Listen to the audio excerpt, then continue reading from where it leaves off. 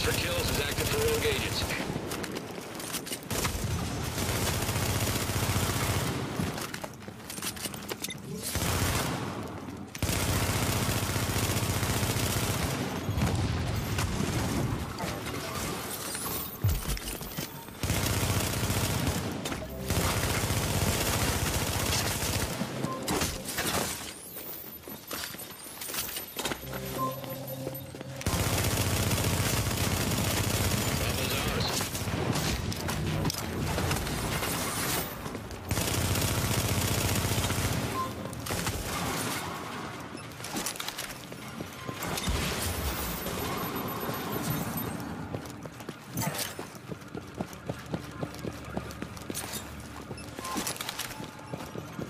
Points multiplier tactical boost is now active.